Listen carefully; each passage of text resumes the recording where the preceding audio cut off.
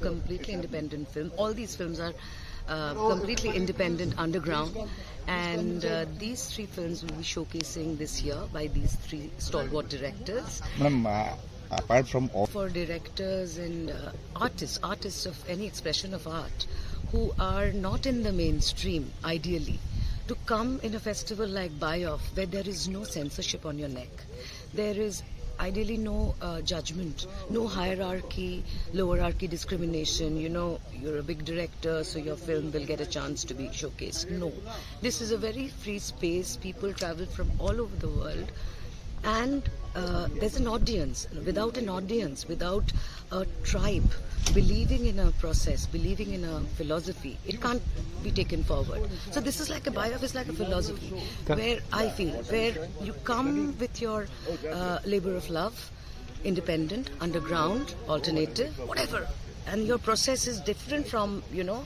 the typically mainstream world of uh, art and there's an audience to give you that vigor that okay so so your film has given me or given uh, the audience some some some perspective.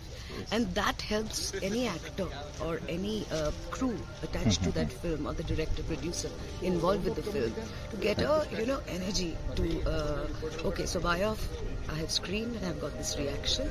And now it's time it's, it's, uh, I can take my art forward to the rest of the world. so Byoff is one place